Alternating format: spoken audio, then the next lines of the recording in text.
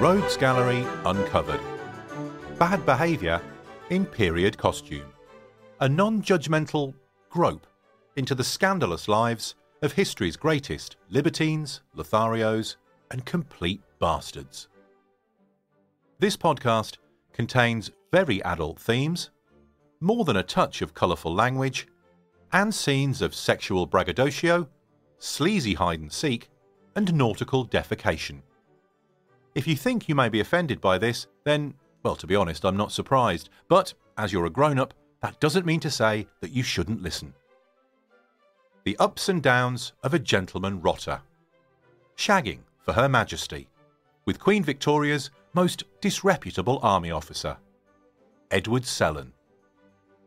Before we start, a quick scandalous shout out to lovable rogue Dottie Hubbard, who dropped me a line at simon at roguesgalleryonline.com, addresses in the show notes, to ask me about the Flashman novels of George MacDonald Fraser that I was waxing lyrical about in the last episode, and which indeed have inspired this one.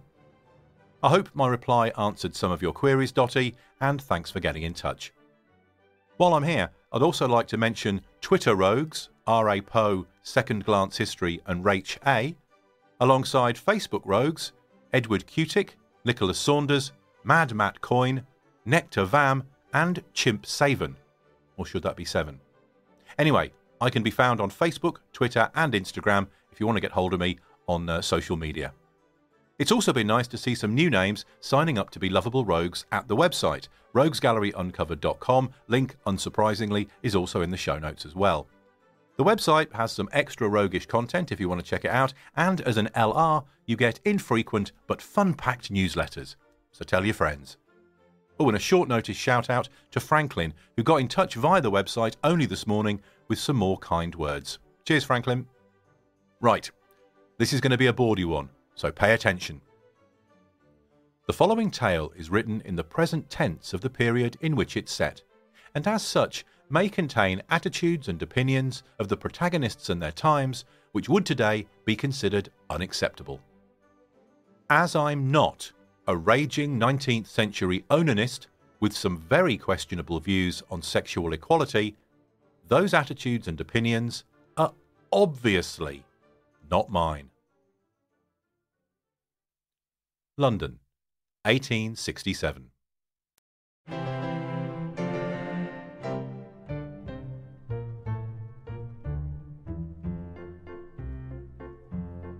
Have you heard?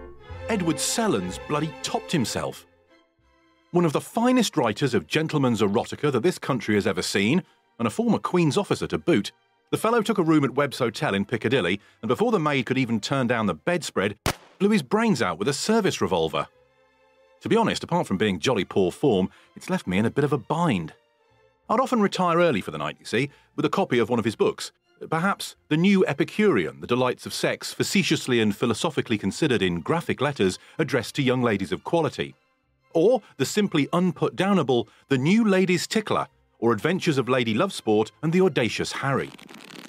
And while turning the pages with one hand, engage in a spot of vigorous self pollution with the other, before collapsing, ashamed and spent, into a well upholstered armchair. Now I'll have to make do with Charles Bloody Dickens and this precious little fucking in great expectations, let me tell you. Fortunately, Captain Sellon has left a short but colourful description of his career in the arousingly autobiographical The Ups and Downs of Life, which I purchased from a specialist bookseller just a few short weeks ago. Common sense tells me that much of this account is exaggerated or just plain fiction, but when my blood is up, the curtains are drawn, and my study door is firmly bolted, I would swear on the life of Her Majesty that every word was the gospel truth.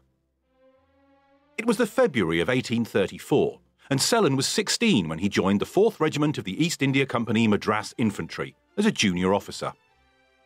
Now, you must remember that the 30s were right at the very end of the so called Regency, the great days of the plunger, the dandy, and the Corinthian, before hymn singing Queen Victoria came to the throne and imposed her tedious morality on the entire empire.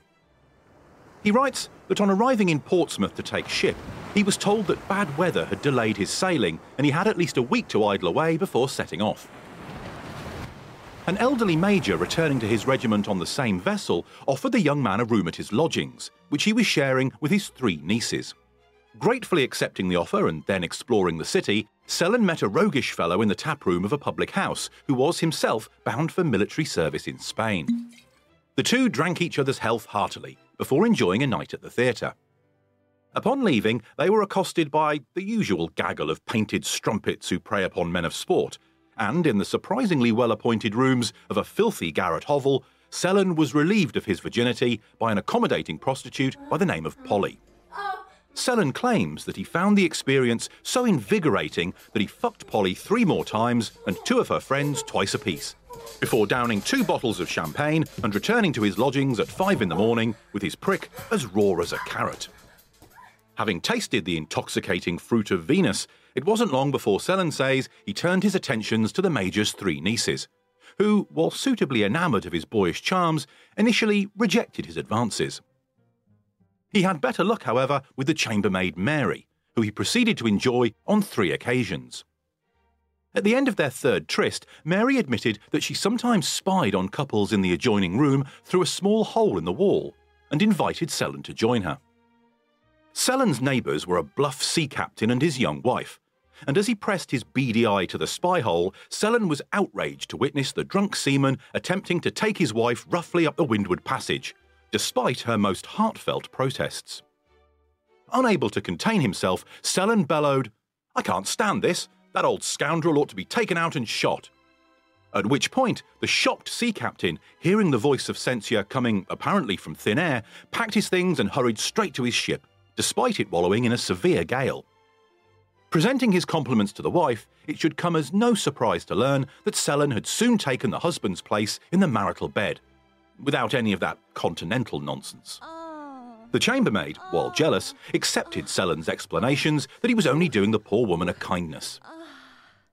Turning his attentions once more towards the three nieces, a playful Sellon started taking them out for long walks, enjoying the effect the high winds had in moulding their cotton dresses to the contours of their bodies.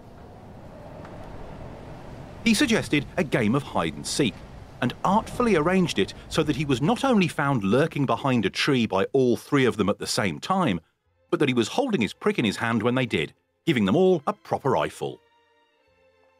Two of the nieces were virtuously appalled, but the youngest, Lucy, was intrigued, and he began to dally with her when her uncle fell asleep after dinner, all the while continuing to rendezvous with Mary the chambermaid and the captain's wife.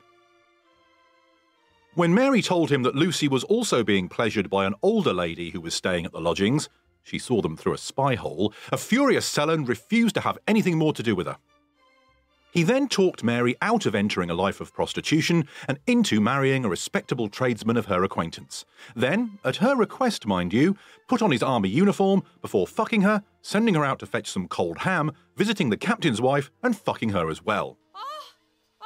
Sellon assures the reader at this point that this is by no means the fevered imaginings of a middle aged man, but that it actually happened, and I, for one, believe him.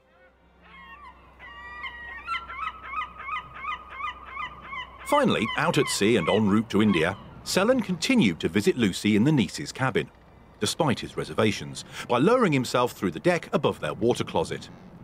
During the course of the voyage, he managed to deflower not only her, but also her older sister, who was driven to distraction watching him with Lucy.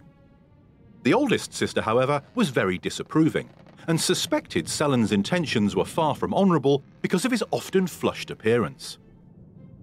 In a stroke of appalling bad fortune, the next time Sellon lowered himself through the ceiling of the WC, she was the person sat upon it performing her natural functions, and an extremely apologetic Sellon dropped heavily onto her lap.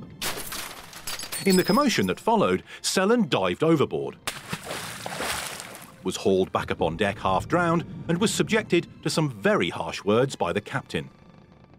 On the subject of natural functions, Sellon goes on to provide a vivid glimpse into the dangerous life of the seafaring man. Becalmed in eastern waters, one of the sailors was lowered over the side while sitting on a plank to scrape barnacles from the hull. Looking up, he was appalled to see the bare buttocks of one of the other female passengers, who was about to take her ease into the ocean below. Before he could shout ahoy, the lady had carelessly defecated into his left eye, and he was forced to prod her behind with a boat hook to prevent further bombardments. This distasteful incident, Sellon says, meant he could no longer look at the lady in question as an object of affection. Arriving in Madras, all three nieces were married to army officers within weeks, but by then, Sellon was settling into life as a company officer. One of his favourite pastimes in those early days was to sit on the balcony of his new house, sipping a glass of port and smoking a cheroot, while gazing over the walls of an Anglo Indian girls' boarding school. Supposedly shielded from prying eyes, the young ladies therein would bathe naked, unaware that Ensign Sellon was following their every move. Sellon recounts an unsavoury episode when he instructed his butler to offer the woman who ran the school 80 rupees for the opportunity to spend the night with his favourite. It turns out that she had been happily accommodating British officers in this manner for some time, and brought the girl to Sellon's room one evening soon after. Unfortunately, when a senior officer heard about this, he was furious that the woman had been offering the girl to one of his juniors rather than himself. Sellon, like many officers of his time, was much taken with Indian women, considering them to be more beautiful and sensual than their European counterparts. He wrote, They are scrupulously cleanly in their persons. They are sumptuously dressed. They wear the most costly jewels in profusion. They are well educated and sing sweetly, accompanying their voices on the viola da gamba, a sort of guitar. They generally decorate their hair with clusters of clematis or the sweet scented bilwa flowers entwined with pearls of diamonds. They understand in perfection all the arts and wiles of love, are capable of gratifying any tastes, and in face and figure they are unsurpassed by any women in the world. He went on to express this admiration by fucking as many of the local prostitutes as his finances would allow. This isn't to say, however, that he totally neglected European conquests. There was Mrs. T, the 26 year old wife of a 60 year old major whom he spent many weeks pursuing. He attended her soirees, turned her music for her when she played the viola, accompanied her on strolls, and sat with her on the sofa for many hours with his hands up her skirt while she rummaged around inside his breeches. Her husband was blissfully ignorant, suspecting one Captain M of having designs upon his wife, but not the boyishly eager Sellon, who wrote, Ah, young Sellon, there you are again, making love to my wife, you young dog. And he would laugh good naturedly and slap me on the back, and wily Mrs. T would say, Oh, yes, he's a good little boy, and as long as he is, so shall he be my knight and wear my colours. When he finally did engage in congress with the wanton Mrs. T, Sellon found her to be terrifyingly passionate, using the coarsest of language and sticking her finger up his backside in a burst of wayward enthusiasm. Why, this woman, said I to myself, is a perfect Messalina, he commented. After pausing for a glass of claret, the couple buckled to again, but were disturbed by a furious hammering on the door. Thinking it the Major, Sellon grabbed his clothes and fled through the window, naked as a jaybird.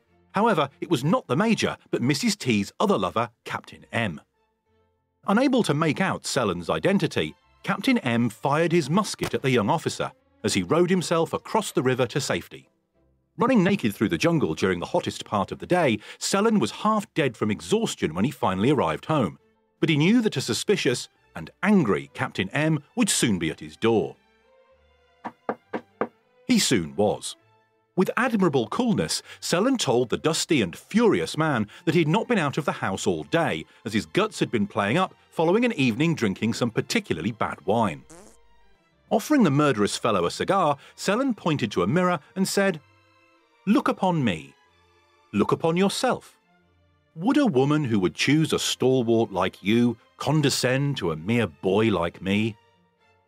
Suitably chastened, Captain M apologised profusely and made his exit. In a stroke of appalling bad fortune, however, Sellon had left his pocket watch, a gift from his beloved papa, in Mrs. T's boudoir, and Captain M took possession of it. Now, all Sellon needed to do was keep quiet about his ownership of the watch. But because it was such a sentimental trinket, he revealed himself to Captain M, who, livid at having been gulled and cuckolded, challenged Sellon to a duel. As the challenged party, Sellon, who couldn't hit a barn door at two paces with a pistol, chose to fight with swords, a weapon with which he claimed to be much more proficient. In the resulting duel, despite his best efforts at merely wounding his opponent, Sellon ran Captain M through the chest and killed him, a promising life cut short, he later mused, on account of one woman's wanton lusts. In the years that followed, he recounted other amorous adventures on the Indian subcontinent. On one occasion, Sellon dressed up as a young lady to inveigle his way into a bored wife's bedchamber. The husband, poking his head around the door, thought that he was a girlfriend come to help her dress. While still thus attired, Sellon was then propositioned by a drunk gentleman at a ball and had to defend his honour by punching the impudent mountebank full in the face. He also took up with yet another married woman whose husband was, in his words, a prig, and an old woman to boot, a little plain, mean looking fellow with a squeaky voice who looked like a eunuch. Sellon, however, found his wife especially beautiful, with one exception she had bad teeth, a problem he overcame with his usual sang froid. As I did not admire bad teeth, he wrote, I would only poke this woman in one way, and that was en levrette. She made great opposition at first, but soon got to like it, especially as I said to her, My love, in this attitude, you gain an inch. After 10 years in India, Sellon says that he returned to England and entered into a marriage of convenience to a woman named Sarah Ann Wilds, which had been arranged by his mother. He honeymooned with his new bride in Paris, but was most put out that his over emotional wife became angry, upset, and tearful whenever he looked at, paid a compliment to, or tried to arrange a rendezvous with any other woman. Moving to a cottage in Devonshire, the couple were jointly disappointed to find out that neither was as wealthy as the other thought they were. Sellon moved out and went back to living with his mother, conducting two simultaneous affairs to pass the time. A couple of years later, Sarah returned, but by then he was involved with another woman called Emma, and much to Sellon's annoyance, the ladies hated each other on sight. Promising to end things with Emma, Sellon feigned a headache, but while his wife was at church that Sunday morning, instead of terminating the relationship, he invited Emma to his rooms and rutted himself into a stupor. In fact, he was so transported that he lost track of time and had to hide the girl in a side room when Sarah returned home. His day got even more vexing when Sarah found Emma's nightcap in their bed. A situation Sellon could not explain. Although, when she questioned him about the comprehensively stained sheets, he angrily tried to convince her that he'd simply ejaculated during a particularly spectacular wet dream. In the ensuing argument, the two came to blows. Sellon's wife bit chunks out of the backs of his hands and savagely kicked his shins, while he tightly held her wrists and demanded that she apologise for her outrageous accusations. By the time she complied, Sellon had lost over a pint of blood and was confined to bed. As he lay recovering, the family doctor took Mrs. Sellon to one side and reprimanded her severely. Madam, he warned, be careful what you are about. Your husband has been shamefully ill used, and had he died, as I expected he would, you would have been arraigned at a criminal bar for manslaughter. You are a woman of violent passions. Learn to restrain them. Recovering in bed, Sellon watched the exchange and nodded soberly, writing, I had one of my bandaged hands up Emma's clothes while he was saying this, and was feeling her lovely young cunny. It was nuts to crack for me. The Sellons separated again soon after, and Edward took to driving the mail coach under an assumed name to make ends meet, and opening a short lived fencing school. Such are the mysteries of the human heart, however, that Sarah returned for a third time, and the two enjoyed some blissful years of happily married life, before Mrs. Sellon selfishly fell pregnant and stopped paying attention to her husband and his physical needs. What indeed was Sellon to do but begin a liaison with an old flame whom he hadn't seen in 11 years, and who, now widowed, took her pleasures where she may. To no doubt give his wife some room to embrace motherhood, he moved into his old flame's lodgings for a month, visiting her boudoir at night through a secret panel built into connecting wardrobes. The final straw for the Sellon marriage came when he convinced the headmaster of a local girls' boarding school that he was just the chap to supervise the young ladies on an improving nature ramble. Mrs. Sellon arrived at the school just in time to see her husband leading a group of teenage girls into the woods for a game of hide and seek. The separation soon became final. With his marriage in tatters, Sellon took to writing pornographic literature as a penny a word man for the publisher William Dugdale, whose output, incidentally, has given me many hours of pleasure. He also penned some more academic works about the history of Eastern snake worship and a Trieste on the Hindu faith, but they were not as well received as his more colourful pieces. Sellon was unrepentant at the scorn with which some in society looked upon his erotic penmanship. The saints and hypocrites who will read this will exclaim, What a miscreant this man is! Read thus far, did I say? Oh, fie! Do saints and hypocrites read naughty books? Aye, marry do they, and go home and frig themselves? The beasts! Or bugger their footmen?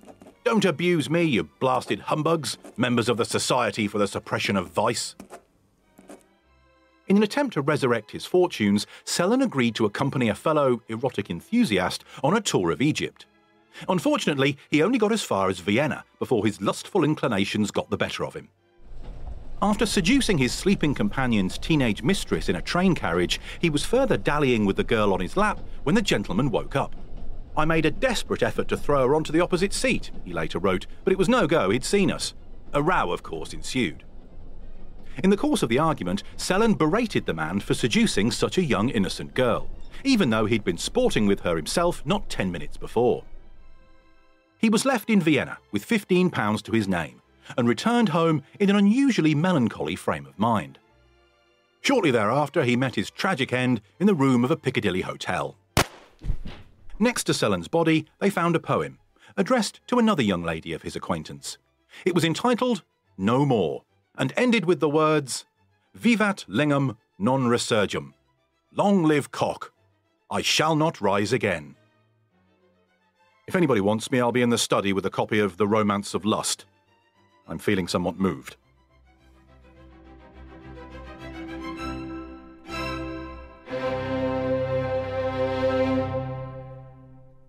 There really isn't that much more to say about Edward Sellon, or how many of the sexual escapades in his autobiography are actually true. I mean, it does read in places like Jay from The Inbetweeners, if you're from the UK, or The Shermanator from the American Pie movies, if you're from the States. You know, I had 15 supermodels in one night last week and they were all begging me for more. You know, that type of stuff. But many of the details about Indian Army life in the 1830s and 40s, the unusual perils of ocean travel on a sailing ship, ugh, and everyday 19th century life in general are indeed fascinating. And who's to say that Sellon wasn't the seedy Casanova that he made himself out to be? As to what it tells us about 19th century moral hypocrisy, or the rights and wrongs of colonialism, well, that's for another kind of podcast. Not this one.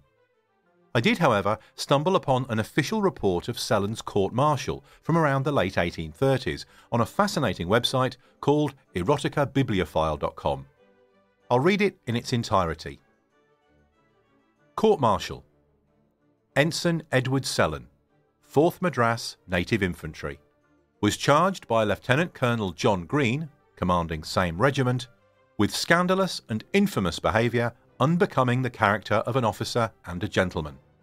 In having, at Bangalore, 21st of April 1836, without provocation, made use of grossly abusive and highly insulting language towards Lieutenants H. W. Wood and H. Colbeck, both of the same regiment, and in having, at the same time and place, presented a loaded pistol at Lieutenant Wood with intent to shoot him. Upon both of which charges, the court found the prisoner guilty and sentenced him to be discharged the service. Remarks by the Commander in Chief. As the evidence on the trial affords a strong presumption that Ensign Sellon was insane at the time when he considered the offence with which he was charged, I consider him to have been entitled to an acquittal on those grounds, and remit the sentence accordingly. Signed, R. W. O'Callaghan, Lieutenant General and Commander in Chief. Ensign Sellon has since been transferred to the Madras Pension Establishment. So, unless I read that wrong, Sellon somehow managed to avoid the ignominy of being court martialed and ended up just being quietly shunted off to another position on account of temporary insanity. Now, I don't know about you, but I think that's a very forgiving commander in chief he should have gone into politics or local government. If you're a bit of a bibliophile yourself and you fancy checking out the collected works of Edward Sellon, then I do have a short list here. Next time you have a Zoom meeting, try having some of these on the bookshelf behind you. Herbert Breakspear, Legend of the Maratha War. Annotations on the sacred writings of the Hindus, The New Epicurean, or the Delights of Sex, facetiously and philosophically considered. Phoebe Kiss Again. Adventures of a Schoolboy, or the Freaks of Youthful Passion. The New Ladies Tickler. The Ups and Downs of Life. That's the title of Sellon's autobiography. So that's Sellon's writing. If, as the writer of this episode, I can take one thing away from the experience, it's that finding out en levrette is actually French for doggy style. Life is indeed a journey of learning. Next time on Rogues Gallery Uncovered. What are you looking at? Finding any excuse to have a scrap with 18th century Ireland's most quarrelsome troublemaker, George Fighting Fitzgerald. I really hope you enjoyed this episode. Thanks again for all your support. Feel free to get in touch via the show notes with your thoughts and suggestions. Have a great fortnight, stay roguish, and I'll see you yesterday.